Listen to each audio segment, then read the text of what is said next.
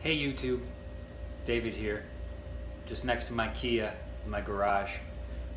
I found this life hack while I was driving the other day. I think you should really check it out. I don't think anybody's heard of this before. So normally, I would be looking out my window like this. Okay, but this one time, I just was, while I was texting, I looked down and I saw this stuff. Seriously, look at all this. Why didn't anybody tell me all this stuff was here? Like, I see all these numbers on the road, like 45 and 50, and it's like, what's 45 and what? 45 what? Like, I don't know what that means. Look, I think it means these things. Check this out. I don't think anybody else on the road knows about this.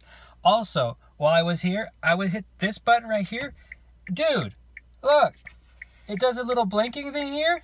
And then look, it makes a light turn on up front. I don't think anybody has ever seen these. At least not in Oklahoma. Oh boy. So anyway, like, subscribe.